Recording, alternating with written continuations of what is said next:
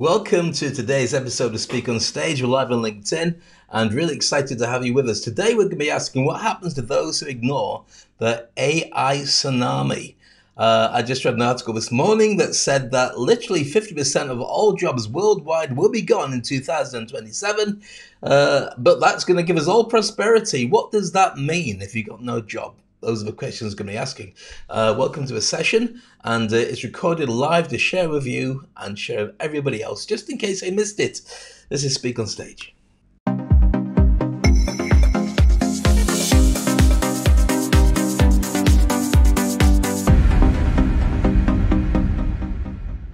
And we're live.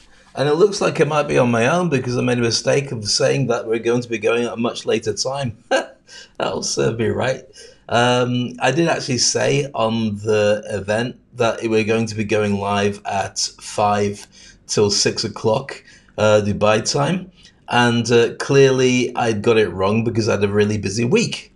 Dave, how busy was your week? Very busy, but it doesn't matter. We're here now. If you're very welcome to join us um, for today's broadcast, I'd love to be able to have you as part of our conversation because uh, things are heating up in the AI world. Nice to see you, Naif, by the way. And there's lots to discuss, lots of challenges, lots of things that are going to be good, bad, and ugly. The question is always about what are you going to do about them? So I was reading an article earlier, which is something that blew me away. And this article was saying that a top VC, who's called Kai-Fu Lee, says in his prediction that AI will displace 50% of all jobs by 2027. Um, and he reckons that's uh, accurate. Now, Elon Musk has recently said that all jobs will disappear as a direct result of AI. What does that mean for us? Well, that's a terrible thing. Uh, and uh, I'll explain more about that a little bit later on. I don't think I need to explain too much about how terrible it is if there are no jobs for anybody. Uh, how are you going to pay rent? How are you going to pay for school fees? How are you going to pay for, like, I don't know, dinner? And things like that. Joanne, nice to see you. Um, we're a bit quiet today. I had to see uh, Zara as well. Um, Aziza, I'm not sure if she's going to join us. And also, it's, it's my mistake. I uh, put the wrong timing on the invites for the event. And I, did, I thought, this is a bit strange. I normally have a warning saying, Dave, you're going live in like an hour or half an hour or something. Uh, and I realized I'd put completely wrong time because it's been that kind of week which is a little bit crazy, but not to worry. For those who turn up, we'll do something. For those who don't turn up, they won't care because they're not bothered anyway. It's a Sunday. Um, kind of strange day today. Uh, not because every Sunday is strange, but this one's kind of weird more than anything. My cousin's getting married in the UK, and uh, I want to wish him very best of luck with that. And Josh and uh, Alex will be very, very happy together. Um, but everybody in my family is going because I don't live in the UK. I live in Dubai. And so it's kind of like you, you want to say, can you just wait till I get back? So it's more convenient. So I can be there and enjoy cake and, and, and the festivities and the celebrations and get myself on the wedding photos. But you can't really do that when they arrange it. It is what it is. So uh, I know that I'll get some videos of, of everybody enjoying themselves and so on. But you know what it's like about wedding photos. If you're not on the wedding photos, when we look back at it years and years later, you didn't exist as a human being. And if you're lucky, we'll say, oh, it's a shame Dave wasn't there. But more likely, we just won't bring you up in a conversation. We'll just say, oh, remember this, that happened, and that, that happened. And that is it. So I'm kind of grieving a little bit for not being at the wedding. But at the same time, it is what it is. So I wish him the very best of luck with that. If you'd like to join us on stage, a conversation today is probably going to be me and thee. I don't know if Debbie's going to be joining us. I don't think Aziz is going to be joining us today. Uh, but I like to keep the continuity. There's a couple of things to discuss. First of all, uh, I've mentioned this before, and it's not a subject that's gone anywhere fast. What happens to those who ignore the AI tsunami? I have talked about this at length about the fact that some people are going, no, no, no, no, no, no, no. Uh, and I, I think that those who are worried about their jobs should be even more worried about their jobs. But I think that everybody should be looking for a way to reinvent and add extra bits to what they do because there's so much coming your way. Elon Musk, as I mentioned earlier, has said that he fully expects all jobs to disappear. Now, here's the thing that scares me. When you got somebody with the position of Elon Musk to turn around and say, we're going to have a world of prosperity where you don't have to pay for anything and all the rest of it, I'm thinking, well, hold on. Do you remember when we used to go and buy something and you'd buy it and you'd own it, not have to wait a year for the subscription to come up again, and then you'd have to pay for it again. That's the world we're in right now. You don't really own anything that's digital. All you get is access to it for a period of time. And that's a business model that everybody's kind of sticking with. So you got some people who make a lot of money out of it, and some people are constantly forking out a lot of money every month or every year to get access to stuff. So, how does this work out? If we have AI picking up all the difficult jobs and doing all the blue collar and white collar jobs, in case you don't know the difference between them, blue collar means that you're doing stuff with your hands and doing stuff that's active, and white collar tends to mean that you're using your intellect and pressing on a keyboard. That's kind of how it all fits in together. But I apologize if anybody's white collar or does blue collar and vice versa. But that's basically, I think, the definition. But if you are going to have jobs disappearing from both sides equally, then how do you fill that gap? And also, you need to then have a whole world that turns around and says, you know what? Money is not important. Please feel free to have burger and have like um, you know um, delicious food from my shop as much as you want because it doesn't matter how you pay for it. That's the bit that worries me. Not that we don't create incredible ways of doing jobs faster, but how does the economy work for your average person who spent their entire lifetime getting ready for that? And if that is the case, as Elon Musk says, Elon Musk has this wonderful ability to not have to pay for anything really. Because he's kind of like the richest man in the world. For anybody who's not the richest person on the world, you're very aware of how much money comes in, how much money goes out, and the decisions you have to make about what that's going to mean for you. Well, that leaves us with a massive gap, which is what are we going to do when uh, they decide to replace us with a new system or a new job and all the rest of it? First thing I'd recommend is discussion. Next thing I'd recommend is screaming. Thing I'd recommend after that is getting up to speed with AI. One of the things you really have to consider with all of this is how you can create that life raft for yourself that guarantees you can have income, or at least it guarantees that you're slightly ahead of the game when it comes to everybody else wondering where do I fit in. It's a massive challenge, a real difficult situation for everybody to deal with, and I'd love to know your thoughts and your opinions on this. I'm open to everything on this. So if you'd like to join us, all you got to do is stick your hand up and join us on stage. One thing I will say, there's a couple of caveats whenever we do get guests on speak uh, on stage to speak is first of all, try and keep your intro to a limited amount. Obviously, say hi to everybody, but then get straight into it because we want to. We've only got an hour of a show, and we want to make sure we get as many things brainstormed, as many people's solutions uh, given as possible. But also, don't make it a monologue. You know, I do this, I do that, and I've done this for many years. It's not like a job interview. We don't care. We just want to see how we can help you with this particular conversation, is what it's all about. Um, and also, it's just make sure that your internet is good if it's like scratchy or you've kind of got a cable that needs fixing on your headset, then we may ask you to leave a stage. Not in a horrible way, in a nice way. I just press a button and the trapdoor disappears. It's like a digital thing. Hello to Jorge as well. Good to see you as well. So we've got a good group of people. All you've got to do is put your hand up to join me on stage, and you're very welcome to do so. The question today is all about the AI tsunami, and it's really strange when I look at the. I don't know if you saw the picture I created for today's live event, but it's got a load of older people with grey hair, of which I am one. Not in that particular picture, but a grey hair person. Um, and we're all kind of using laptops underneath the ground because that's kind of where you'd be living if you're homeless but trying to keep with a job.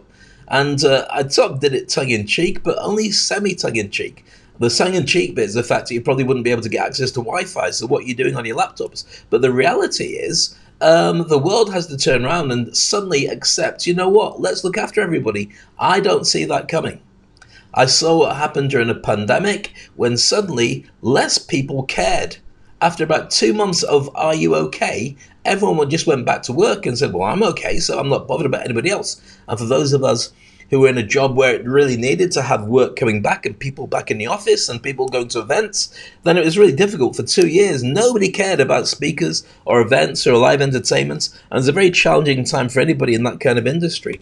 I see that, but I see that everywhere. I'd love to know your thoughts and your opinions. There's only us in this little room today, so please feel free, stick your hand up Come and join me on stage and share your ideas and opinions. And even better, if you have a solution on how we're all going to survive, then that'd be useful to share as well. There's a couple of things I've always recommended. First of all, um, I'll go through the list while people are deciding whether to join us on stage. And you're very welcome, by the way. If you don't know how to do it, all you have to do is press a button somewhere on your keyboard where it's got um, the the LinkedIn Live session, and it just says go on stage or ask to join on stage and then I'll just click a link, click a button, and then you just need to enable your microphone and say, Hi Dave and hello everybody and how are you today? and all the usual stuff that we care about and then get straight into your answers. I'd love your thoughts on this because I don't think there's a single person on the planet that it doesn't affect. So uh, rather than me doing a one hour monologue, which I'm more than happy to do, but kind of would be a little bit boring for you, let's make it as interactive as possible. So to go through the list, as I mentioned here, first of all, embrace continuous learning. Now I've got all these details, by the way, inside the details of this today's session, uh, and it hasn't changed since last week's session because I think they're just equally important.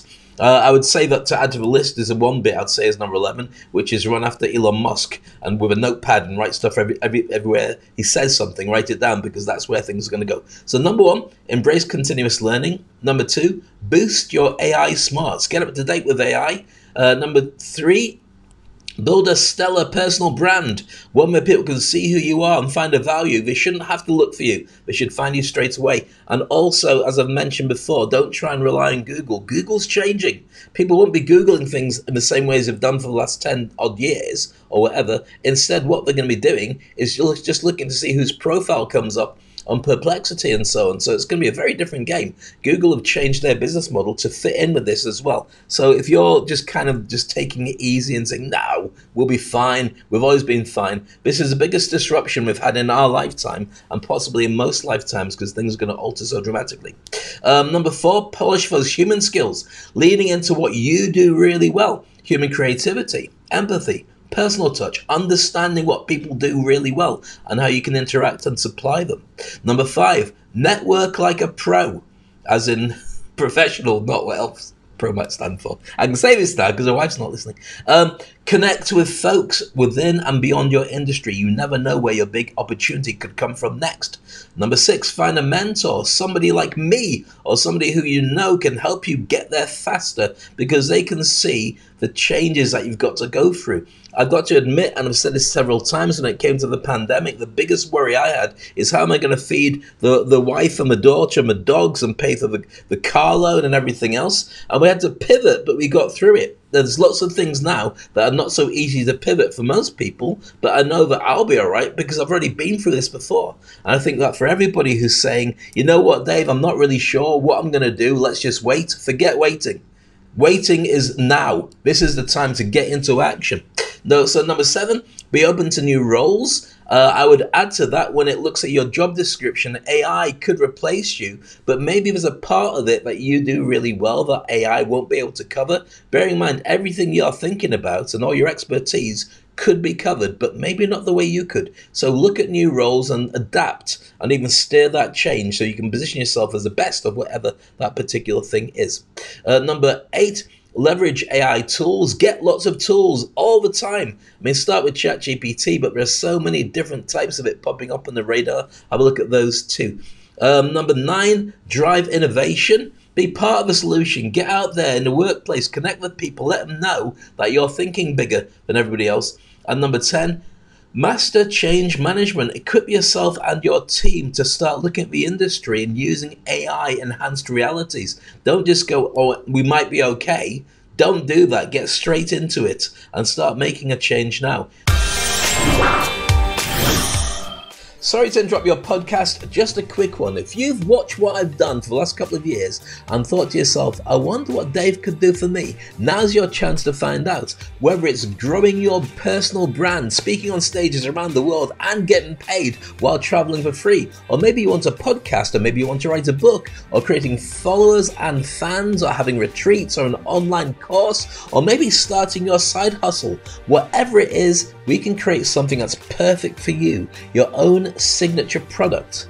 So what do you do? Well, very simply, all you need to do is register at this QR code or go to www.speakonstage.com backslash summervip backslash and then register. Once confirmed, you get sent details of how we can book to work together. Two sessions with a load of incredible content to raise your game. You'll also be able to be incredible on LinkedIn, get over imposter syndrome, create messaging that your clients will love and buy into. You'll be able to create your personal brand and also become a guest on other people's podcasts and more. What more could you possibly want? Just me and you working together, having a ton of fun, and getting you to where you need to be. The world is changing more rapidly than ever before, and I want you to be positioned as the best that you can be. So all you have to do is go to this, register, and then let's help you jump and grow wings on the way down. That's it. Back to the podcast. Does it sound like I'm being dramatic? Well, when I call an AI tsunami, imagine, and I, I, don't mean disrespect to anybody who might have gone through the experience of a tsunami, but imagine you are told, What's that huge wall of water? Why has the sea gone out?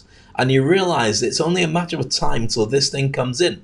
The figures we talked about this morning, top VC, Kai Fu Lee, who's uh, running an AI company, saying that by 2027, 50% of all jobs will have gone be replaced, maybe, but that asks the question with your job, will yours be replaced or will you be okay?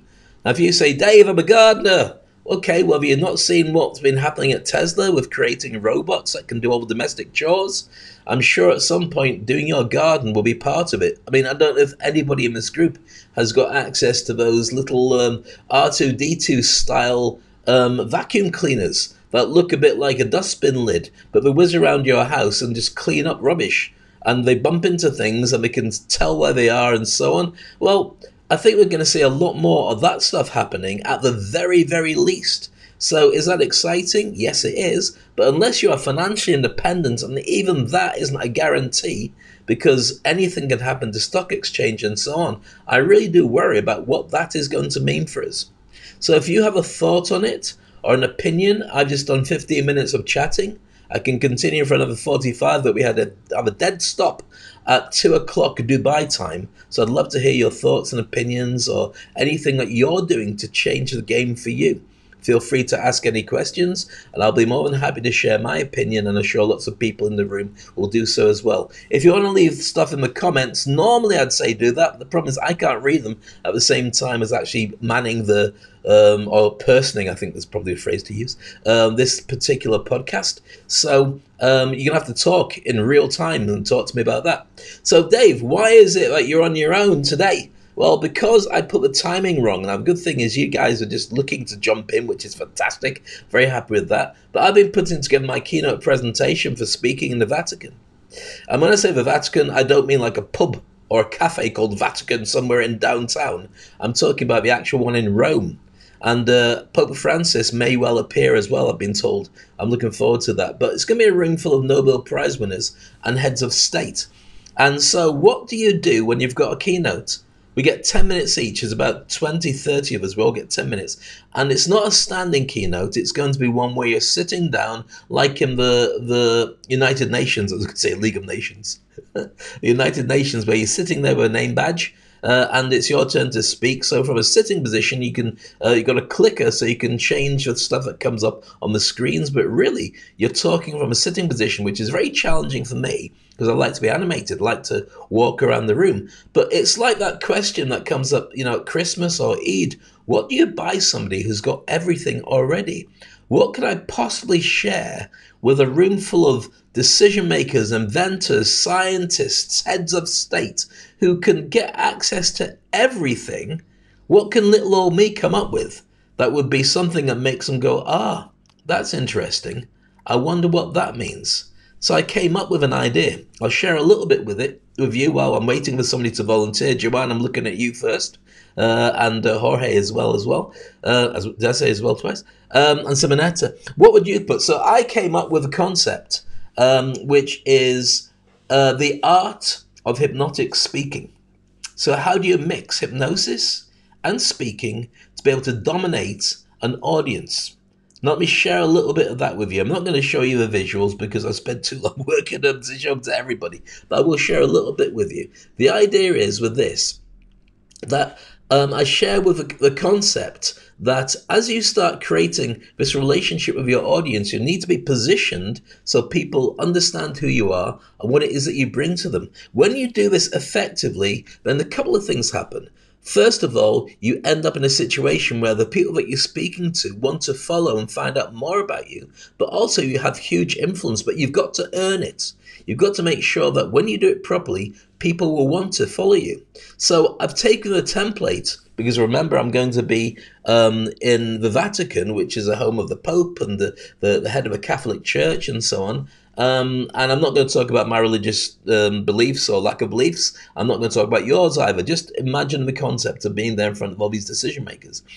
I have to respect the place where we are, but I also have to share with the fact that I'm imagining that everybody who's in the room has got challenges reaching their audience. So, how do we do that more effectively? That's what my presentation is about. I've got 10 minutes to talk about how to inspire, how to lead, how to tap into people's faith. And that's not necessarily about religion, it's your faith in you when you position yourself as a thought leader and use that to create trust and credibility.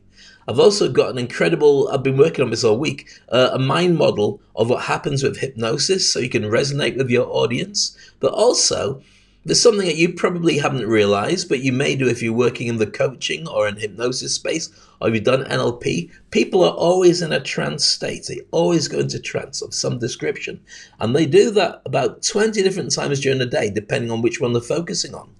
So that includes daydreaming, reading, watching TV or movies, listening to music, driving, engaging in hobbies, meditation, and prayer. See where prayer comes in. Exercise performing repetitive tasks, public speaking, playing video games, using digital devices, especially on social media. Um, when they're getting it on, say no about that, um, but you probably guess what that is, especially if you've got kids.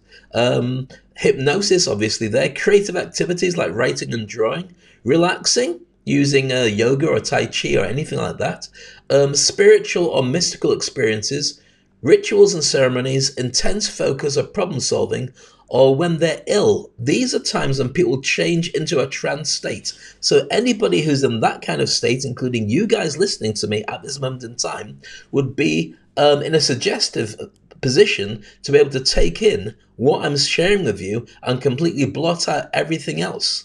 Now, that's what world leaders need to concentrate on, and most people do it well. That's why they get to that level. But some people, certainly on the way up, do not.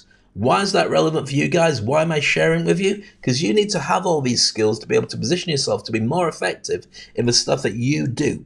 So, once again, I've been chatting now for about 20 minutes, and it does feel a little bit like a Dave Crane monologue. I have no problem doing that, but I would like to know your thoughts and your comments as well. Joanne, fantastic. You've let me suffer long enough, and now you come to join me on the stage. Always a pleasure to have you join us. Um, are you in your castle right now, or are you somewhere else today? my castle. I'm in my house here in Ireland. I'm sacrificing going down to the shops to get me milk for my cup of tea. so that's oh. why I'm here talking to you. well, just sucking on a raw tea bag. I appreciate the effort to be. Here's the thing I do. I've got two things that I keep. I always keep some coffee mate just in case it runs out. The milk runs out, and I also make sure I've got those two in ones or three in ones. You know when you kind of need to make some coffee and you really have. Mm time and you just want to run, put some water in it, put it in a flask, I always keep them. Yeah. Just saying for next time. Just a little thing. Okay, cool. I'll remember that. Don't say I never help you. So here's here's here's a question then. AI tsunami is a thing. It's not just a warning. It's a thing that's coming. Do you feel the same thing, or are you kind of nah? We'll be all right. It, no, it is a big thing. It, like it's a massive change, you know, and I think I think a lot with this, and, and I, I don't like focus on the scary thing, but we do have to be prepared, right? Um, and I think it's uncertainty. We don't know what this whole AI thing is really capable of. I mean, there's all this talk, and we've seen how much it's been advancing, and you know how much it's been able to match the humanness, you know, when it comes to speech recognition and images and videos and all these kinds of things, you know, and it's just progressing so so fast. And it reminds me of when I was oh, 30 odd years, I'm probably giving my age away now, um, when the internet came around and it was absolutely phenomenal and it was great. It was a novel thing. It was a novel, and that's that's what was you know hooking people was the novelty and what the internet could do. And it's kind of the same with, uh, with AI, but we're more advanced and it's even more um, powerful than the internet. You know, and it's just I wonder what can happen. I wonder what what this is, what can be possible. It's great, and you know, there's great things it can do, but you know, with great things also comes you know we have to be careful too. Big time. I've just been reading this article, and it says that the impact of AI should be seen as the equal of electricity and the internet combined on human rights. Mm, because it's that effective in the things it's going to change and so on. And we're kind of just pretending we're going to be okay. But remember, this is not going to go away. It's not going to disappear. It's not going to be like somebody can press a button and suddenly there's no more AI. It's here to stay. I was watching a, a, movie the other day, which was Jennifer Lopez's latest one called Atlas. The idea is that they've created an artificial intelligence that decided to take over all the robots and kill as many people as possible, then escape uh, to a different planet. So she goes after it using artificial intelligence in this kind of robot suit. Okay, it's a silly little sci fi thing, but it's not a million miles away from the concept of you thinking, well, what would you do if AI decided it didn't like us anymore? Mm. And yeah. it doesn't necessarily have to not like us. It just has to decide that it doesn't want us here anymore. We're annoying. Maybe climate change is is affecting its ability to cool down its systems. So maybe it works out. If they get rid of its people, then the planet goes back to normal. Ozone layer goes back to normal, and it's much easier for my reactors to carry on doing what we're doing. I think what I'm really concerned about is, you know, the the powers to be and these, you know, intelligent people that are doing all the AI stuff and what have you. And we've been told X, Y, and Z, it's great and blah, blah, blah. But I don't trust an awful lot of these powers to be because of what happened in the past. You know, it's like you're in it on your own. It's, it's, it's, and that's that's what's that's what worries me like you can't trust these powers to be because we've been told lies all our lives I know. Without getting political, I agree with you. There's a thing called a social contract that we were given when we went to school, and it's probably existed for hundreds of years. And the idea is that if we vote people into power, those people have our best interests at heart because they want to be able to be successful and survive. So what they will do is they'll open factories or they'll employ people or they'll do stuff that makes money for everybody because they want the social system to be there. And that's certainly what I believed when I went to school, even though I hated school and couldn't wait to leave, or at least that's what I was told we should believe. And it was only later on when you kind of got to school and you thought, well, in my case, I don't like it here. Um, and then when I left, you realize actually you're more successful when you do your own thing and if I'm hmm. waiting for people to look after me, that's not going to happen. That's one of the reasons I left the UK 30 years ago. Because even in the UK or places where they've got a democratic government who gets voted in by the people, it tends to be driven by who's going to make most money out of it. And they tend to lean into that. Now, to go back to what you just said, the bosses who are driving AI are not even the governments in power. They're individuals who are looking to make as much cash out of it as possible in a in an effective AI wars. And that has started. I worry about those people because what you have to do is turn around and say, would they put guardrails on it to make sure we're all safe? Isaac, Isaac Asimov is a famous um, science fiction writer who wrote the the book um, um, I uh, what's it called again? I not I Robot. What's the one that Will Smith stood in? Will Smith. I Robot.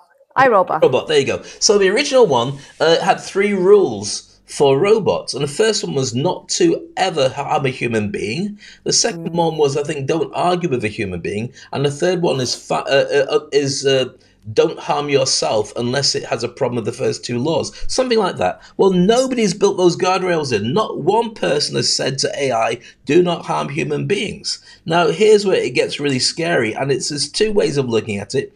There's a scary warfare. In the fact, uh, I really believe that right now we're already in, a, in World War Three. Not that it's going to turn into World War Two with guns and, and countries against each other. I just think that we've got the big powers are playing a game where they get the little countries to fight each other by putting money into them. So it's all going on. We've got, we've got it in Ukraine. We're going to have it soon, maybe in Taiwan and so on. It worries me about the fact that that's continuing. But that's not even the big worry. The big worry is that when it come when push comes to shove, we don't have any guardrails on looking after making sure that we have jobs and making sure that we can all earn and eat and all the rest of it. Nobody's caring about that. We kind of kind of do it ourselves. And even when it came round to the challenge of how to deal with with the pandemic, as I mentioned, we were anybody in my business was left on their own. Some countries had a handout from the government, but that did a lot of damage, obviously, to make sure financially that could still work. So I'm looking for solutions, ideas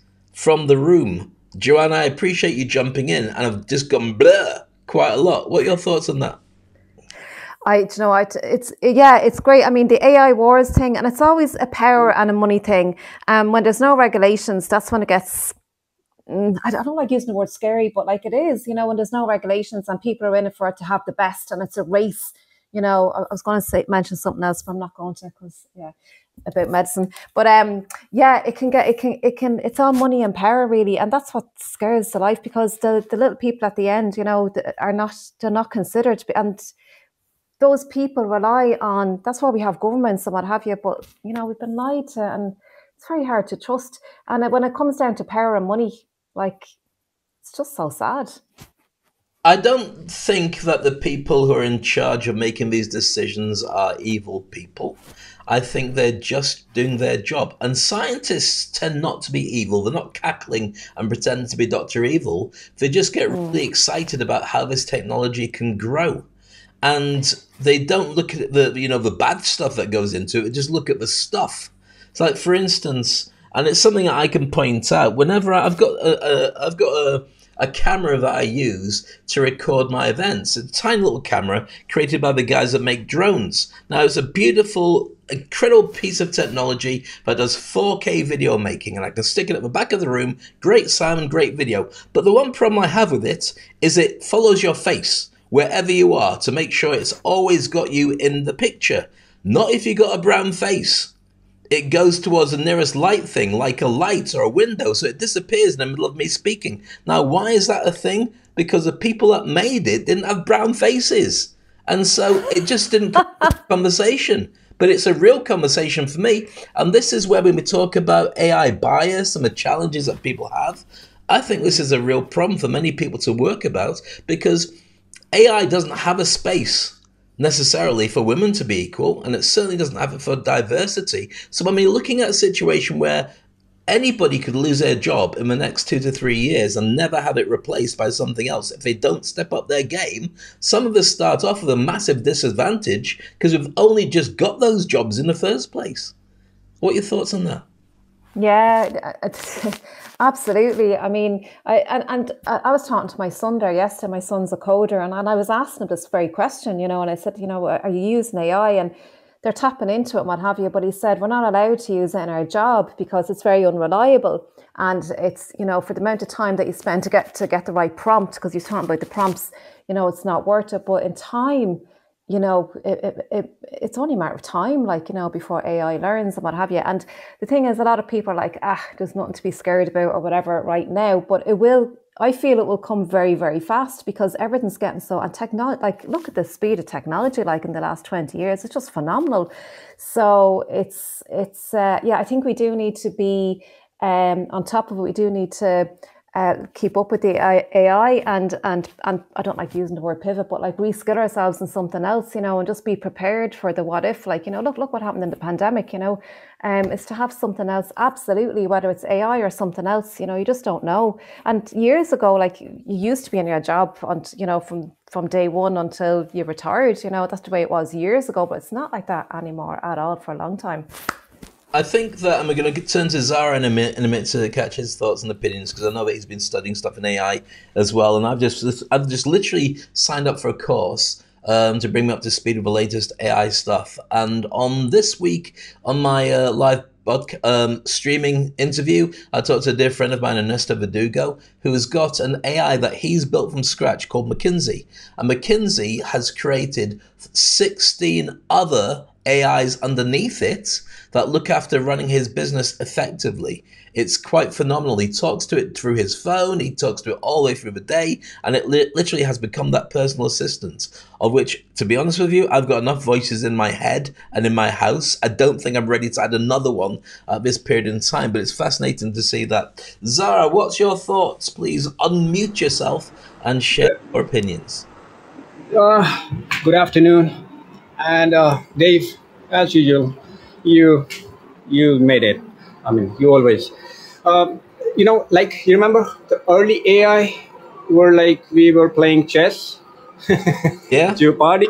Yep. Yeah. Now, now it's so uh, so it's so advanced and uh, revolutionized that every company now I was I'm like I'm working here for a company and they they they have that params cloud computing cloud computing softwares like Azure and uh, so they, they and, and, and, all those advanced AI tools available to hire to hire some security services um, within UK, and then we assign and deploy guards and check them, check calls and book calls and all with the help of these AI tools, right? Uh, in one way, it's but it's not like that uh, that they're gonna replace me or something because somehow it's me who's giving them all instructions and to you know to to watch everything on the camera. Uh, but but what what uh, I was watching an ad on the Facebook, and there was a man. He they he, they, they set up your e-commerce business and all, and how they're getting sales. It's like uh, what they do now. They work on the uh, on Midjourney. So they have like five or six young boys, age 18 or 19, who just like you know passed their, uh, who just completed their college, and now they're looking for some part-time job and um, people here in Pakistan. I'm just telling you a story, a, little bit story. Now, those part-time uh, job seekers, they go to these companies who, who are making you uh, some e-commerce websites on Amazon, who uh, uh blah blah blah blah blah, and uh, they make them learn this Midjourney. And what they do, they do from product hunting to product marketing and advertisement. They do everything. And how do how do how how can they take advantage of this AI over here? we everybody knows that Pakistan is uh, one of the most uh, largest uh, leather manufacturer in the world, right? Uh, so on the Midjourney, they go and they they search something. I mean, for the next leather jacket design, new design. They search on the Midjourney, they get new designs, and then they send that to to to to the manufacturer to make a copy of this, and they put it on the Amazon and have more sales. So this way, I mean, even the, the, the children who, the, the young boys who are like getting over with the college and they wanted to learn some new tools, they they join and they, they, they volunteer themselves. They pay them a little money, just a little money, like maybe like 30, 40, 50 dollars per month, uh, sitting in the office and they're making designs for them and getting sales. So AI is uh, somehow there is a man who there's a there's a boy, there's a man, there's a girl, there's there's there's a human assistant who is always helping um, you know, giving giving instructions to AI. Yeah, you you're right about the robotic wars and all, but somehow uh, being real, I mean, yeah, there will be a war that'll be like robotics versus robotics or, or controlled by humans. And uh, let's see, like who, who who will be the one who who's going to hack it, the systems. yeah, I, like, I, I found it fascinating. I mean, I, every time I know there's a job that's being created, it goes through my head how long did it take for that job to be automated and then that person has to now find another job searching through a um, through amazon looking for things or, or looking for patterns of leather jackets. Or the rest of them uh, involves recognition of ideas. It involves a number of different things that at the moment only humans can do. And it might be with something to do with trends and fashion that only humans can do it because there's a lot of complicated decisions that have to be made uh, based on aesthetics based on you know that looks too much like the 70s i'd never wear that again. All kinds of of things like that. And I do believe that a number of the jobs that will be lost will also evolve into something better. So, for instance, when when you talk about you know going to get fast food, how much of the stuff in fast food is automated? Well, perhaps when you went to a drive-through for say McDonald's or Burger King or whatever, then there's a timer that tells the, the person frying the chips how long to leave them in leave them in for two minutes and then take them out, or whatever it would be, even automating taking them out. Now, does that mean that he doesn't have a job anymore? No, it doesn't. It means his job is to look at the timer and when it goes off, then remove them. So there's lots of things that will become a lot more sophisticated. Plus, as always, there's jobs that didn't exist. Like, for instance, um, social media managers didn't exist. Now they're everywhere. The idea like, you t- tell somebody how to look at your social media and position your ads and all the rest of it, that's going to evolve into more. So there's lots of really exciting opportunities that don't exist yet. But the challenge is, and this is for everybody in the room, it's for anybody who's approaching 50 or beyond, like in my case, is how flexible are you and how flexible do you want to be about learning new skills? I realize that we're going to have to reinvent and we're going to have to pay attention to what's going on, but it's not always easy when you're talking about an 18 year old. Their ability and capacity to then take in new stuff as it comes is also based on their knowledge of what it is that they've been accustomed to using. I remember the first time I gave my daughter when she was about two years old. I think it was probably. I gave my, my daughter a magazine to look at, a real magazine. And the first thing she tried to do was to flip the pictures to see what the other pictures are in a magazine. Didn't think about it not being an iPad. Just thought about the fact that it's a picture, so there I can move it on. So if you're born into that way of thinking, I guess it's going to be relatively easy to adapt to be able to see where that goes next. If you're not from that particular era and you're wondering how to hold on to what you have, you can't.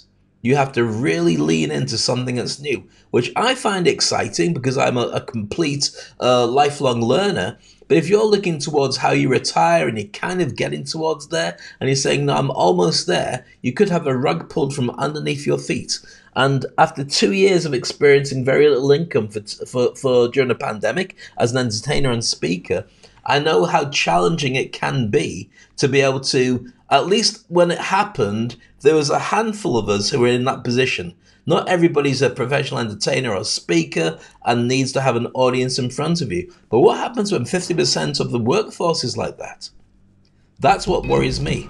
Zara, what are your thoughts on that? And Joanne, feel free to jump in. And for everybody who joined us, you got 20 minutes left to, to put your hand up and join us on stage. Otherwise, it's great having you here. Zara, over to you. AI cannot replace Dave Crane. AI cannot replace this entertainer. AI cannot replace speaking on stage.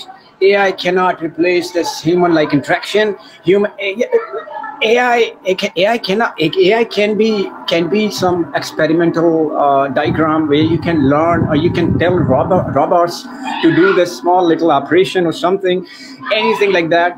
But AI cannot cannot cannot replace this human like uh, you know love, empathy, kindness, interactions we all have here and we learn here. So uh, I mean uh, we, we love you, Dave, and we, we know you you you cannot be no matter how much advanced version you can bring of robot here or or chat GPT anything and you you you tell him to talk like Dave Crane. Oh come on, we can't. We they can't. So keep shining, Dave. Have a great great day and Bless y'all. That's very kind of you, Zara. Thank you so much for your kindness when you say stuff like that. Got a lot of noise in the background. I hope the screaming kids are enjoying themselves and you're not walking about with a baseball. That, that'd be terrible.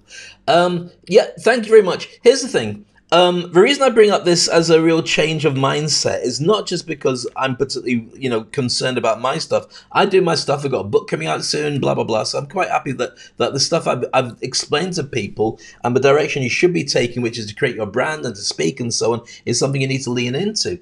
But when we talk about the next generation, remember when we were kids? I mean, for me, it was like 8,000 years ago. I was very happy with just having a football.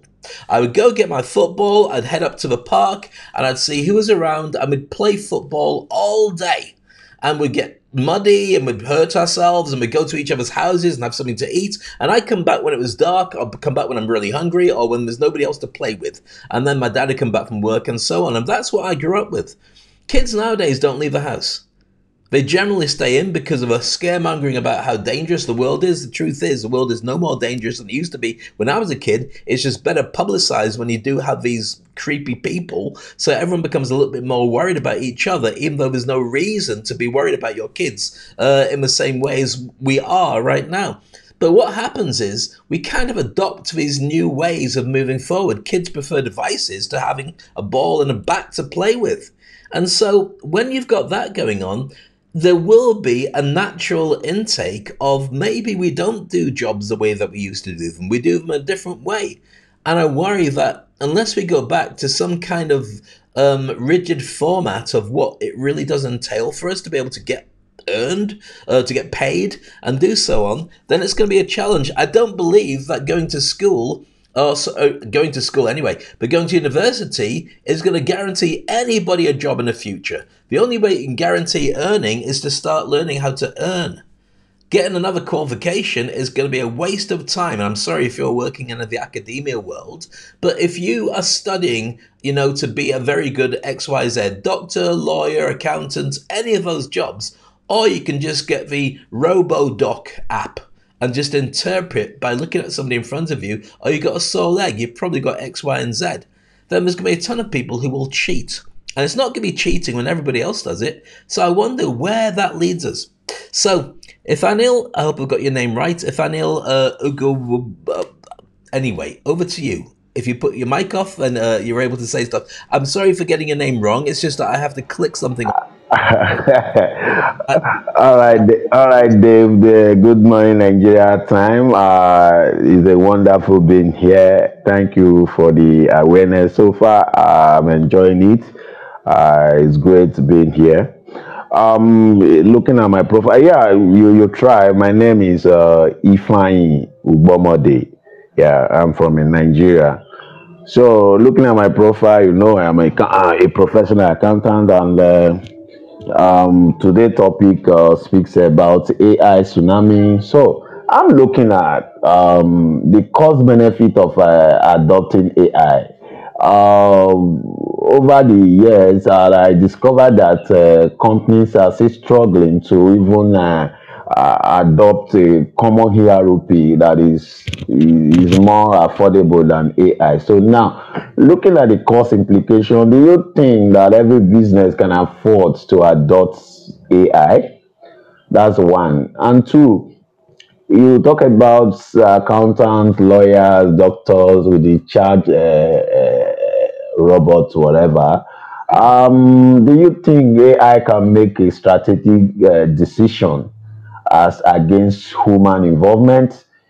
Uh, but I am convinced that it can do, in terms of accounting, it can be able to do a posting, daily transactions, and all that. But when it comes to strategic decision, where an accountant needs to uh, give insight on figures and advise management on a strategic direction, do you think AI can replace that?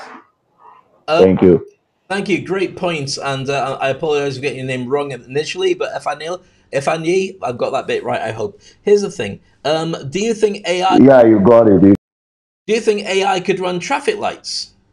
So it turns it to red and turns it to amber and turns it to green and makes sure we don't crash. Well, yeah, it does. There's nobody there pressing buttons. Do You think AI can drive trams and trains? Well, in Dubai, we've got automated trams and automated trains in the metro. There's no human beings involved at all. It's all done by AI, and we've been running for about three or four years. So it would be old tech, long before ChatGPT put it out there. Uh, it was there. I think what we're talking about is the ability to make those human decisions based on a number of different factors. But I think it's natural for us to want to lean in to be able to give some of those automation. Now, should that mean complete automation? Well, let's take an example of something that shouldn't be automated.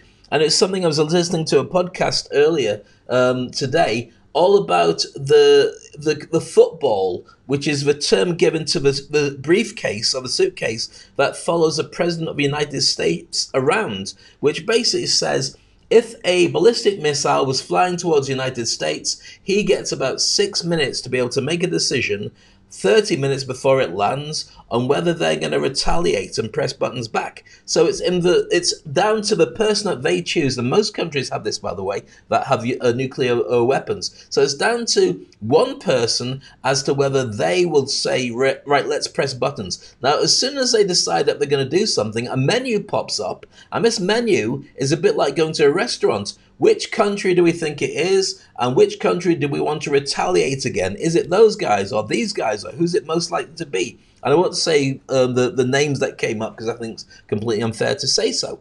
Um, apart from having, no, I can't say. So um, that puts everything in the hands of one person. And in the case of America, that's Donald Trump or it's Joe Biden. And for lots of reasons, you'd, you'd think, can we have a third option? Um, but no, you haven't got those two options. So can that be automated? Can that be something that goes to AI instead? I don't want it to be. I want to at least blame a person for making those decisions on what happens, not just get an AI to say, right, this is what we're going to do, we're going to do that.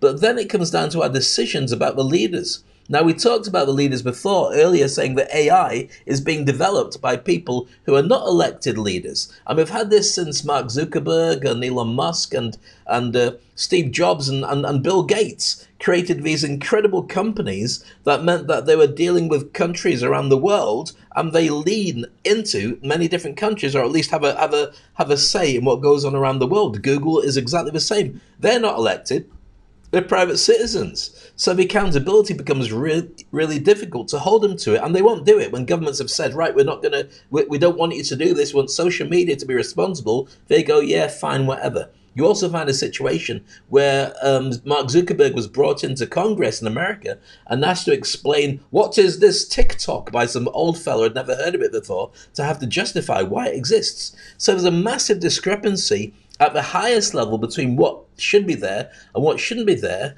I think we're going to see a lot of advantages. So, first of all, when we talk about medicine, I think the idea of having an app that could diagnose what's wrong with somebody by scanning them, by looking at the problems, and telling somebody who's a nurse what the suggestions should be will be fantastic for somebody who's stuck up in the mountains and they've got somebody who's injured or somebody who's ill, or in a remote village in some country where um, they, they need to get access to medical supplies or at least medical knowledge. Uh, and they can very simply just go onto a phone AI will facilitate a large amount of it, and they can maybe have a 3D printer that can pr- produce medicine or produce a cast or produce some something that's going to help people. I see massive advantages in that.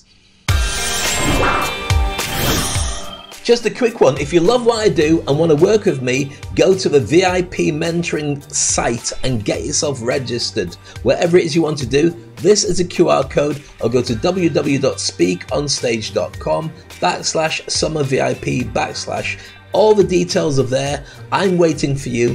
One to one exclusive sessions to build your signature product. What is it? Find out. Take a look. Work with you soon. That's it. Back to the podcast.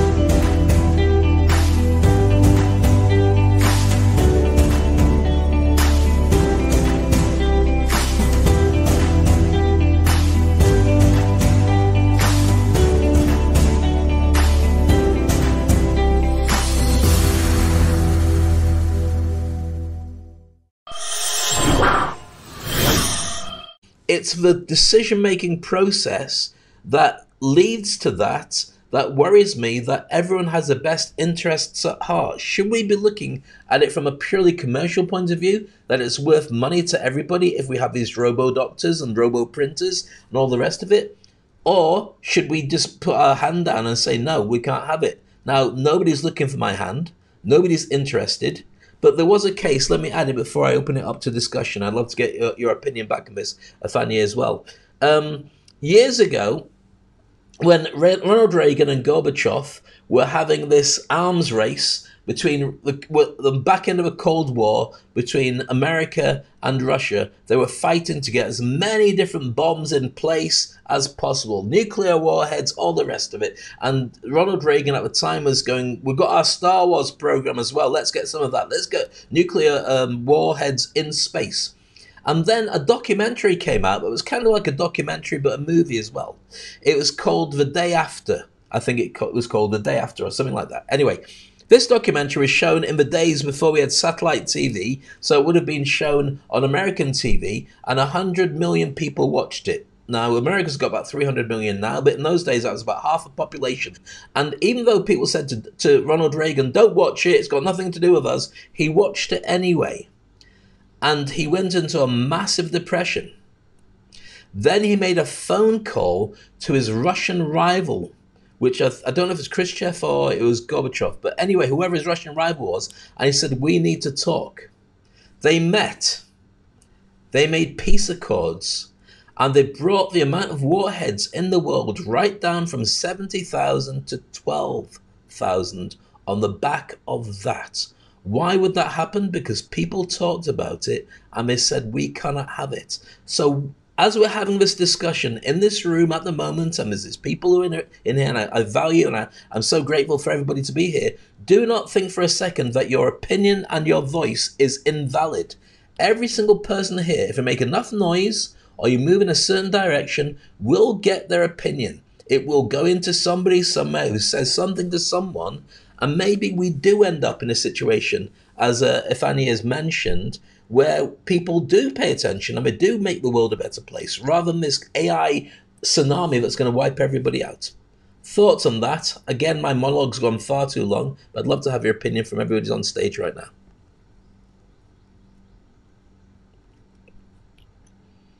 Unless everyone's gone into a massive depression. Dave's really worried. You know what? You know what, Dave? It's from uh, like how we um, see fintech, biotech, nanotech, smart tech, these these all words ending with tech, tech, tech nowadays.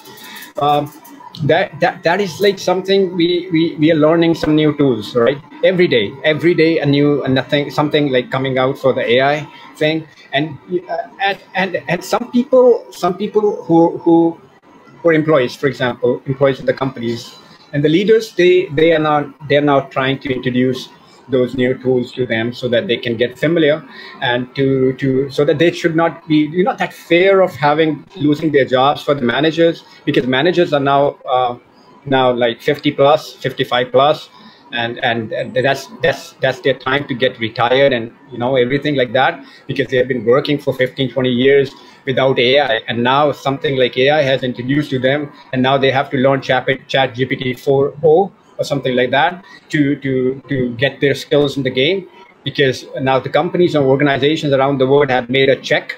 So uh, you we have to learn these tools uh, as far as uh, we have to stay in the industry. Yeah so that's me. Thank you dave you. Uh, hope I accidentally moved, uh, moved you back to listening. It's only because I wanted to make sure that your, your mic wasn't on until we've checked that it works properly. Because sometimes there's a lot of the noise and feedback and so on. If you like to bring yourself back on stage again, I'll let you back up. Um, so I apologize for pressing the wrong button there. Ifani, do you, do you want to add to that? Because I did monologue quite a lot about the the decisions that are tempered by conversations like this in front of people who otherwise get really excited about technology and about domination and about positioning themselves to be really doing well around the world, sometimes it needs to be that we, we share these conversations with them um, so they can pay more attention and do stuff for us. Almas has just joined us, as always, right at the end of when we've finished speaking. Um, but uh, it's great to have you here, Almas. What are your thoughts on this? Hi, Dave. Um, always happy to be part of uh, this insightful uh, exchange conversation. Um, so, regarding uh, what you mentioned regarding the last uh, comment, this is so revealing because you know most of the time the um, top leaders are kept in uh, a total blur of what's going on around them, and uh, whenever they are aware, they would react in a different way because most of the decisions are taken by the entourage, which varies based on the type of entourage they have. Uh, that relates actually to the AI conversation you had before also. The main and most factor that AI will never take uh, above is emotion. And it applies also for what you said regarding the common sense and the emotion of reducing the the wars towards peace, you know? So this is something that uh, more and more people should consider, and uh, emotion is the is uh, what makes the difference between a machine and a human being. And there is more and more uh, place given to also the um, the emotional intelligence these days that will totally take over. I mean, it will be a big, uh, I wouldn't say fight, but uh, or conflict, but there is definitely some interaction to be made between the emotion and the AI. Uh, I want your uh, opinion on that. What do you think? Well, I think that we'll be very surprised how long it's going to take for AI to simulate emotions. I mean, exactly. It can out what is a funny joke um, from seeing what other what other funny jokes are out there, and it can reproduce them. And here's the thing that I find that right now, most people on the planet are on are on the spectrum of um, emotional intelligence, going from very little to huge amounts to overbearing emotional intelligence. Everyone's got different levels of what they are. Um, those people who have very little emotional intelligence are almost like they're automated. They just don't the the challenges that people are going through, or they don't care about it. And so, I think at the very least, AI can reproduce reproduce them but to get real empathy, I don't think you need to have massive emo- uh, uh, emotional intelligence. It's great if you do because the next stages are driven by that. You just need to ask the right kind of questions. So, for instance, if a doctor says to you, How are you feeling? You say, Not very well. You go, Okay, what's the problem? Well, I mean, you tell people what, what's been going on. Does a doctor have to be a doctor to work out what's going wrong? No, it could be AI with a checklist. So, a number of the things that we deal with through AI um, sorry, deal with through emotional intelligence um, and knowledge of people can be reproduced. And I don't think that's a terrible thing. I think the world's full of very lonely people. I think there's something I predicted about, I don't know, about four weeks ago or maybe even further. I said there's going to be a massive adoption of AI girlfriends and boyfriends where you pay a subscription to, to fall in love with your AI, which is your assistant, but it also becomes your partner and there'll be marriages done like that. And I still believe that's going to be a massive, and I think it's a real problem, not because it doesn't deal with the, sh- the challenges of being lonely, but because it drives us further into not interacting as human beings. And I think that that is a real issue, if that explains it. Mm-hmm. So, and uh, regarding the re- hello yeah regarding the interaction for uh, you know like the uh, the couple relation uh, that's another discussion we can have regarding all these dating apps and so on because they are led by algorithm that uh, also can be completely wrong. But that that's a total uh, side discussion and uh, it might be actually a good topic to tap into it, it's a fascinating topic that we may bring up in a certain future episode, but I want to make sure that my wife is completely on rather me going in the direction that all sorts of now, here's one of the things. I mean, it's without going near the, the, the apps problem when we meet somebody that we find attractive, most of the time it's got nothing to do with their qualifications or their their or, or, what you'd read on paper. It could be somebody that has a smile, or they're really funny, or you, that makes you warm to them and want to hang out more with them. You can't do that when you're swiping left or right on somebody. And so there's a lot of human interaction that disappears um, from apps anyway, and that's leading to a massive problem that people aren't having babies and that aren't meeting others. They're just starting to do their own thing. But you see, now you've started this, Almasa. There's a whole conversation an hour long, which refuse to get into on this one. Hope, we're going to give you a chance to be able to speak. It's not because we don't love you, it's because sometimes there's a challenge with your internet. Do you want to unmute and then share what you can? And if it is a problem, I'll mute you again, but it's not, not no offense intended. So over to Hope. No, no. Mm-hmm. No, I, I hear you very clearly. But, Thank you so oh, oh, but I have, I have some background sounds, like somebody speaking in the back. No, it's mm-hmm. trying to speak. But uh, okay, okay. But don't, okay. don't say anything. Give them five seconds or so to be able to speak. No problem. Over to you. No problem. All right. It is actually to, to uh, thank you very much, everyone. Hello, everyone. So it's actually tailored to what Almasa was trying to say, which is the data and the algorithms and all that. But I believe where um, AI comes in, uh, if you ignore that, is because uh, tokenization and data encryption is already creating a space where AI can play a role. And once they can do that, people become safe to keep their money with these cryptocurrencies, with these AI are facilitated or mechanized ways of banking. See, so it's becoming a threat. That is why I support Dave 100% with what happens to those who ignore AI tsunami. Uh, that's all. Just thank you very much. I appreciate that I hope, and you're spot on. Um, there are going to be spaces, there are going to be challenges, and I want everyone to consider as we're kind of putting this room to bed. Now, I don't have to stop it immediately, but I can keep it going for a little bit longer. Can you imagine what it was like when everybody was working as farmers in the fields and we're going through the agricultural revolution. So everybody was was was creating what the the wheat and and and the the, the cows or whatever animals they were, were, looking after the chickens. And now and now it's like now it's like agri-tech.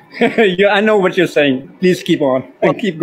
Exactly. But what I was going to say was, as soon as the factories were opened and they started creating machines that could do what farmers were doing, if you were a farmer, you had no choice but to then reskill or get a job in the factories or whatever you could do because your job was obsolete.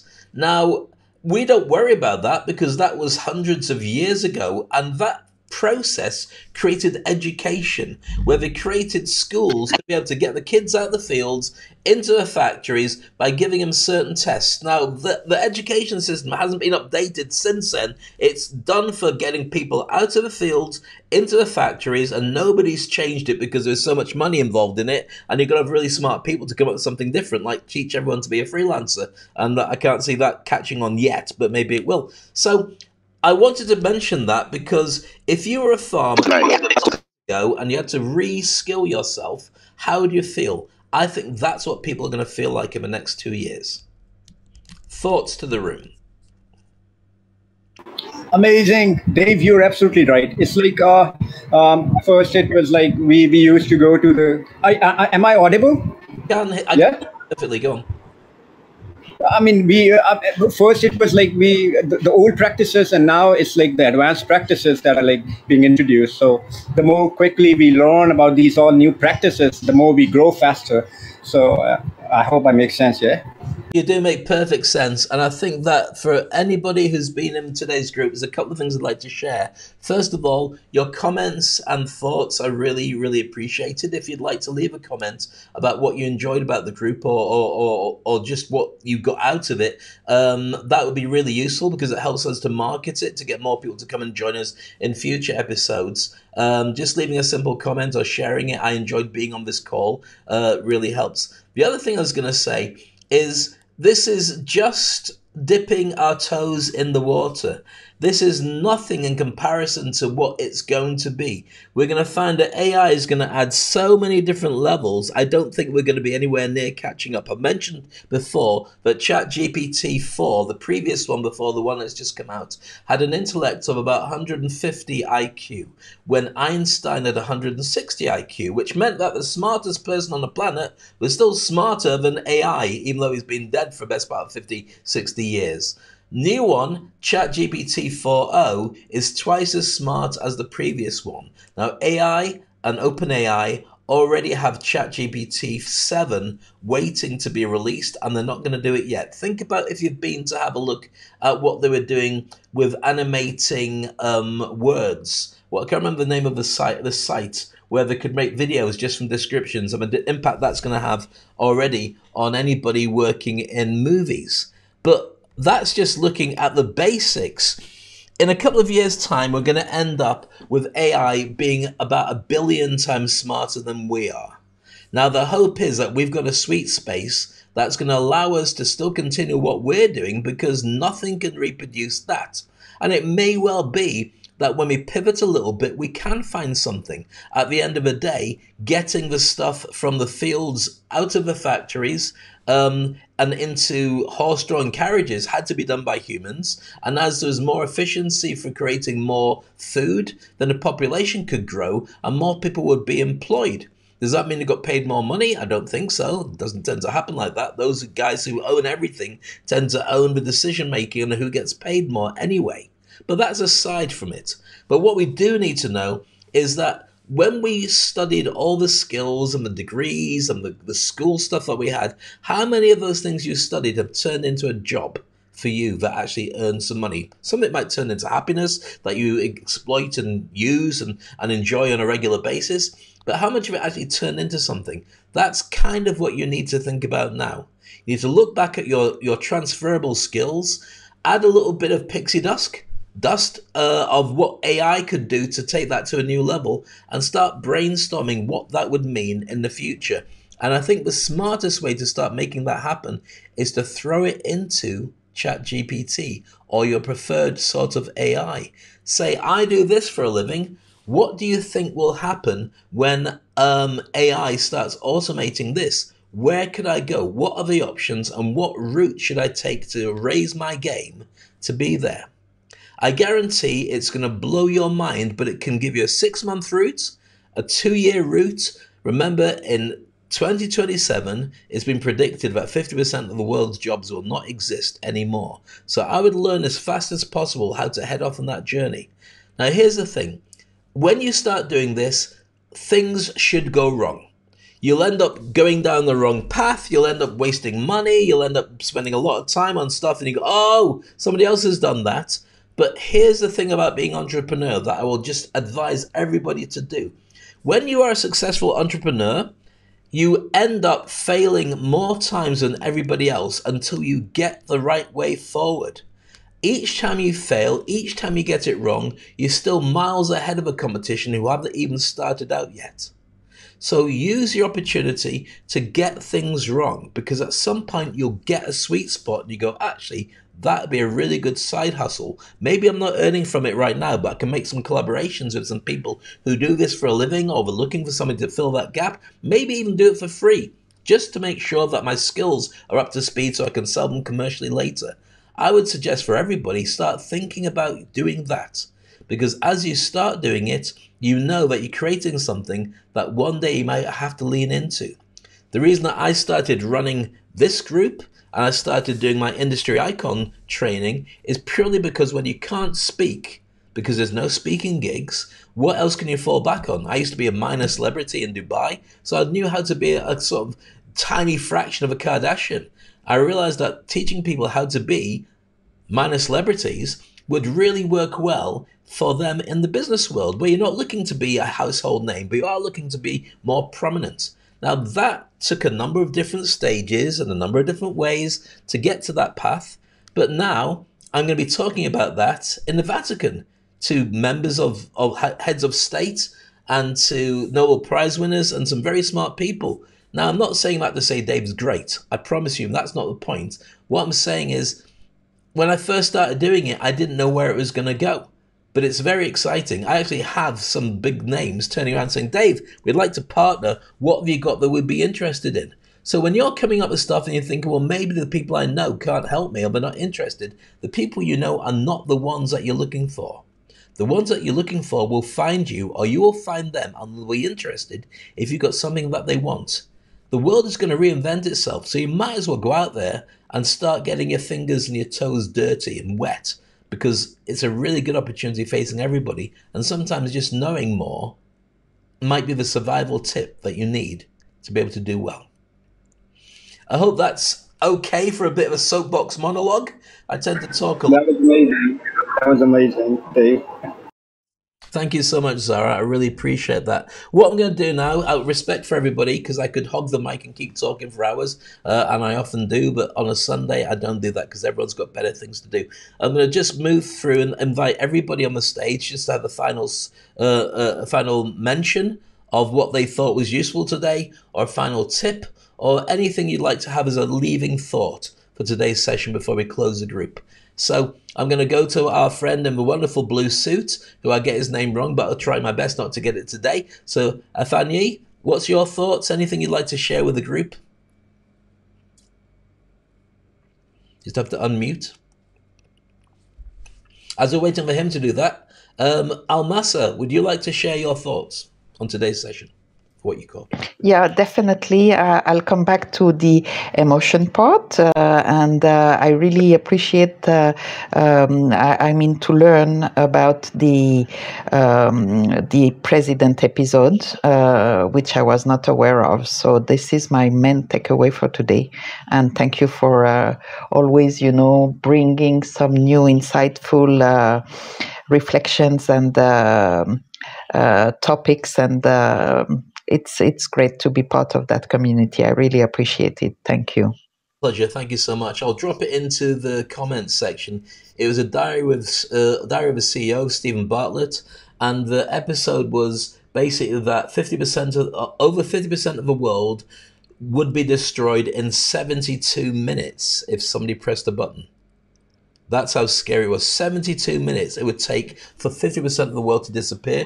And uh, what was said, I can't remember who, who, mentioned it, but somebody really smart said if you did survive it, you'd probably wish you were one of the lucky ones who didn't. So that's kind of like a scary, but an incredible episode in Bartlett. I'll drop the links in so you can listen to it properly um, for you, Almasa. Okay. This is really optimistic. well, optimistic. not going to happen. Yeah, yeah, yeah. No, of course, but yeah, uh, no problem. Thank you, thank you, Dave. For other people, that's my point. Um, Hope, do you want to say a, a final goodbye comment if your, your internet's working well? Uh, well, this is, is a beat talking about um, from time to time I'll do my best and I will make videos. All right, so you can see how Lagos is nice. So the point of what I'm saying is I really enjoy, uh, you know, the whole topic, and I really, really hope, I really, really hope that time we begin to trust the fact that this uh, is not to like you know, take from us to add to what we are continuing to do. Uh, yeah, thank you. Appreciate that hope. As you're saying, um, it starts conversations, and it doesn't matter where you are in the world um, right now, I think it's part of our duty to turn to the people that we love or the people that we interact with or people that we just do business with and just share with them what are you doing about AI? Are you interested in it? Are you paying attention? Well, maybe here's a few th- ideas or thoughts because you never know that might well save their life and their business career. So, Zara, you've been very vocal today. It's been great to have you with your insights as well. I know that you're studying all things AI, so you're the expert in the room. Uh, your thoughts on today's session? Dave, it's like uh, first we have to ask ourselves whether when we created AI, for example, uh, why did we create AI? Uh, is it for to help humans or is it to replace humans? Uh, there are many things. I mean, we have to ask ourselves about, uh, because now it's been created and it's been like two, three years, four years. Being now it's more in the advancement stages. So we have to we have to. I mean, there are many questions. Like you said, click the button and boom, it's gone. So uh, are we going to uh, monitor that in the future? Or how, how do we have to monitor mo monitor it? Some regulatory checks or something, which which are being in discussion now. I was watching the other day some videos. So yeah, hopefully uh, in, in let's see in coming few months because every day is a new new new thing in the AI. So Right. Well, yeah. thank you very much for that, and I appreciate you being here to share those thoughts with us. Uh, AI has been around for hundred for hundreds of years, actually. Not in the form that we've had it, but printing press was actually in some degree it was AI, and it's been used in many different formats. The one that we use right now is probably closer to about thirty or so years. It's been it's only commercially been available the way it has been for the last couple of years. Uh, one of the things is I'll just show this uh, before we go to Fanny for his thoughts on it. Um, if you do listen to that podcast uh, that I've mentioned, uh, we all talk about computers, but computers never used to be robots. Computer was a title given to a person who worked things out. You got a job as a computer or an accountant or a reader or a chef. A computer was somebody who worked things out. And it was a gentleman, I can't remember his name, uh, not Robert Vaughan, but something like that, Ian John Vaughan. So anyway, this guy um, was very smart, worked for NASA, and created about the same size as a house, a machine that could do all computing. And what happened was, and it's not Babbage, it's somebody else. Uh, what happened was he could still outthink the computer and he could work calculations out faster than it could until it got to a point where it was faster than him. And then he said, Right, we've got it now, build more. So AI is not a new thing, it's been around for a long time. And if we trace the history, I'm sure it will make more sense. So if Anya, you've just got do make, sense uh, because uh, now they are like uh, car systems that you get the load sheet directly into the into the into the spaceship or, or, or in the in the in the aircrafts and the in the fighter jets and everything. You get the load sheets in the car systems. You just have to put the weights inside and boom, the the zero fuel weight is there, the Mac is there, the, the aircraft is balanced, and now you're ready to take off. So you're right. It's been there in the industry for like more than ten years now. You're right. Absolutely, but we're, we're, we're paying attention to it now because it's coming after us more than before. Afani, you, you we tried to get you on stage earlier just to say your last few. Okay, um, uh, thank you, Dave and uh, Zara, and uh, I, I want to, in, in addendum to what Zara said, I want to also add, um, looking at AI, I, am saying I want to know, um, the, the, the introduction of AI is it to help women's work or to replace woman, just like uh, uh, Zara said. If that is the case, what impact will a man benefit by uh, adopting uh, um, a, a, like a software that will replace uh, uh, uh, his uh, means of likelihood? Do you think such person will uh, support the adoption of AI? So uh, I, I want to get the overall objective of AI. Is it to replace human being? Or just to help to facilitate the work of human beings so that uh, hours work can be reduced while the job still remains. So uh, I think we should look at it that way so that uh, the adoption can be generally acceptable by all walks of life. Uh, I think uh, that's another way I'm looking at it. Why um, people um, um, are resisting uh, the adoption of AI in terms of uh, um, making it a, a common uh, tool to to use in the process of executing the attacks. Yeah, I agree with you completely, by the way. It's a great thought and great way of looking at it. What I would say is cars were created to be able to get from A to B faster, automated, without having streets that are full of horse poo and they're much more efficient doing it and so on. But it doesn't mean that the creation of a car and automated vehicles hasn't led to the ozone layer problem that we have now with climate change directly because of all the exhaust fumes and and the, the dangers that go into creating that automation. So AI, I 100% believe, was done to make us have a better life, but it's how we use it is going to make the biggest impact. Okay, okay, okay. In in that case, or, or what's your advice? Is that every every person should uh, know about AI and uh, know how it operates and take advantage of it, have acquiring the skill to be um, AI uh, genius or what? So, what impact will uh, man play uh, in AI? Um, great question, but we're not going to have an answer to it today. We're not going to have an answer to it in, in less than two years.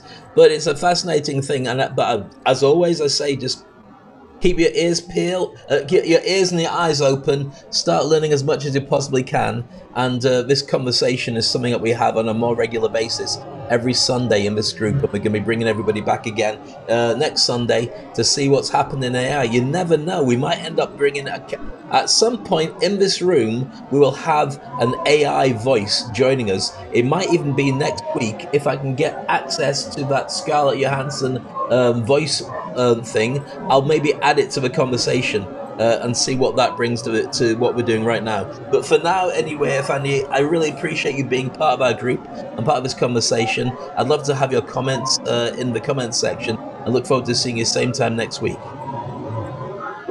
Thank you very much, Dave. So I also one last thing. Uh, not uh, how do I become part of your mentee? I know that you mentor people. So how do I become part of your mentee? Okay, fantastic. If you look at the comments section um, and if you look at the details section, I've got a number of links there to be able to get a chance to work with me or message me directly in um, in LinkedIn and I'll share some details with you. I need to know who you are, what you do, and what the most uh, most best solution for you would be. But I do have a number of different programs available you can see inside the details section uh, on this particular post. But thank you for asking, and I look forward to a conversation. Okay, thanks so much. I'm going to I'm going to send you uh, inv- um I'm going to add you to my connects uh, so that you accept me. Um, we'll start. We'll take it from there. Is that fine? Wonderful. Look forward to talking to you. Cheers, my friend. All right. Thanks so much. Cheers. Bye. And Joanne, you were first to pop up and last to leave. So ah. your thoughts on the group? Because we we started off just trying to save the world as we always do, and then we just let's just go back to sleep. It's easier. Uh, it, it, got quite interesting, not heated, but really interesting, didn't it? What's your thoughts on today? Yeah, absolutely. Well, I mean, there's a lot of there's a lot of uh, things to explore, you know, and all we know is what we know that's going on at the moment, and we can yeah, look, there's there's a lot, uh, and I think this conversation will be ongoing for a long time. But look, here's something that I was just thinking of, and by the way, actually, Annie Annie Jacobson is the nuclear war expert that you were thinking of with the Diary CEO. I ah, think. There you go. Yeah, yeah, yeah. So what I was thinking was I, I jotted down about our teenagers, right? Our teenagers of the world today that we really need to look after our teenagers. And here's why I I think teenagers don't do authority like we did when we were growing up, right? And that's a good thing. Um, but we need to nurture and mind our, our teenagers. There's a lot, there are a lot of challenges in the world at the moment, you know, with phones and going to bed with the phones and sleep and all that sort of stuff, right? But they're not as easily controlled as we were when we were growing up as adults, right? So they're emerging, they're next leaders in the world. They're very curious. And something that you were saying about the learning, um, you know, down in school, we're very dumbed down and all the rest. Teenagers are very different. Their, their minds are very different. Uh, and you were talking about learning how to learn and um, and reskill now that that's really super important obviously because there's a lot evolving and we were adapted for evolving and what have you and with our teenagers um, uh, the creativity is very important because it's all about future thinking and future solving and not, and not, not living in the past all the time. Jim, Jim Kwik is a very good guy to follow in terms of learning how to learn. Uh, but anyway, there's a lot in there. It might be another another thing to talk about, but I think we need to mind our teenagers. That's that's my my bottom message. I do think you're absolutely right, and that sounds like a subject for a future session. But on today's session, uh, having got an extra 20 minutes over what I advertised I was going to do, I'm going to put the whole thing to bed there. But thank you, Joanne, for joining us, and thank you for jumping on stage first, because that's always appreciated. It makes my job a lot easier after giving 20 minutes of monologue to have a friendly face and a friendly voice to come up and join me. So, with that being said, if need, uh, we'll have a chat directly. I'm not going to bring you on stage at the moment because I want to make sure that everybody here gets a chance to go off and do bigger and better things for the remainder of their weekend. I hope you got something from today's session. It's always a pleasure to be able to hear what's going on out there because one of the challenges I think with AI is it drives you into a space where you think far too much on your own. I think we need to be talking collaboratively we need to share ideas because having that and having different opinions, especially ones that you disagree with, put you in a position where you can be better armed to be able to deal with what's coming forward. What's going to happen in the future is always challenging, but I also believe it's a wonderful opportunity for everybody to grow and maybe create that world that we've always wanted to have, where our younger people who will be inheriting it from us have actually got the opportunities that maybe we didn't have. But it all starts with a conversation. And those conversations grow into something special. And those things that grow into something special is what we're starting today. So, as always, it's a pleasure having you here. And I urge you to join our WhatsApp group. The details are there. When I come back from the Vatican, if they let me leave, I will share with you a couple of ideas and a couple of insights and maybe put together a little documentary that I'll broadcast for you. But meanwhile, have an amazing weekend. It's an honor to have you here joining us. It's a real pleasure to find out your thoughts and to be able to share that with many other like minded people. We are growing a community here, but it all starts with a conversation and I wouldn't like to spend that conversation with anybody else but the people that we've had here today. So look after yourself. Remember to jump and grow wings on the way down. and look forward to catching you soon on Speak on Stage. Have a great day. Thank you. Bye bye.